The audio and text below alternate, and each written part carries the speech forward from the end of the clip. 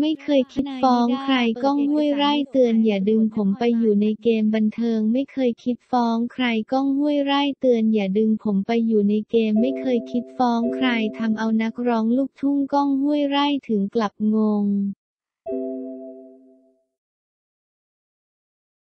เมื่อมีเพจข่าวลูกทุ่งเผยข่าวว่าเจ้าตัวเตรียมฟ้องค่ายบ้านไทยลูกทุ่งฐานก๊อปเพลงใส่ว่าสิบอดถิ่มกันโดยเนื้อข่าวนั้นบอกว่าก้องห้วยไร่เตรียมฟ้องค่ายบ้านไทยลูกทุ่งฐานก๊อปเพลงหน้าด้านด้าน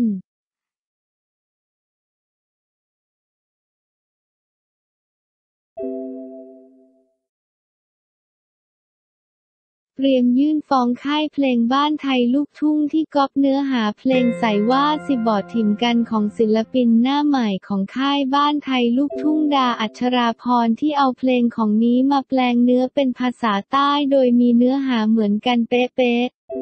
แก้ชื่อใหม่เป็น ไหนว่าจะไม่ทิ้งกัน โดยก้องได้ฟังแล้วถึงกับอึ้ง เพราะมันคือการก๊อปเพลงนี้มาแบบหน้าด้านด้านอยากถามไปถึงค่ายบ้านไทยลูกทุ่ง เอาอะไรคิดก๊อปกันแบบไร้จรรยาบรรณซึ่งก้องห้วยไร่ ได้แชร์ข่าวนั้นลงเฟซบุ๊กส่วนตัว ชี้แจงว่าเครื่องหมายสี่เหลี่ยม ผมไม่เคยคิดฟ้องใครครับ ทุกๆ เรื่องไม่ใช่แค่เรื่องนี้ให้ผมอยู่ทุ่งนาทำสนามฟุตบอลเถอะครับ ไปเอาคำพูดผมมาจากไหน อย่าดึงผมไปในเกมพวกคุณเลยครับ เครื่องหมายสี่เหลี่ยม เพลงผมมันมีไว้เพื่อสร้างความสุขและมิตรภาพเท่านั้นครับ ผมไม่ติดใจอะไรเลยกับเพลงครับตอนนี้มีความสุขมากๆกำลังมีลูกสาวที่จะคลอด ปลายปีและมีงานฟุตบอลกลางทุ่งนาต้นปีนี้ครับ รักทุกคนครับ